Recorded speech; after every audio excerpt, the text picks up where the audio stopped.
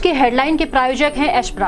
Gorakhpur news के सह प्रायोजक हैं doctor Rana hospital private limited and trauma centre. महिलाओं ने धूमधाम से किया भगवान गोवर्धन की पूजा अपने भाइयों के दीर्घायु होने की की कामना। विसर्जन के लिए बनाए गए पोखरे का अपर नगर आयुक्त ने किया निरीक्षण। साफ़ सफ़ाई की भी है उचित व्यवस्था सावधानी पूर्वक हो रहा है विसर्जन। हर्षोल्लास के साथ निकाली गई माँ लक्ष्मी की विसर्जन यात्रा। ढोल नगाड़े की धुन पर नाचे श्रद्धालु। माँ लक्ष्मी गणेश की प्रतिमाओं का श्रद्धालुओं ने श्रद्धा भाव के साथ किया विसर्जन।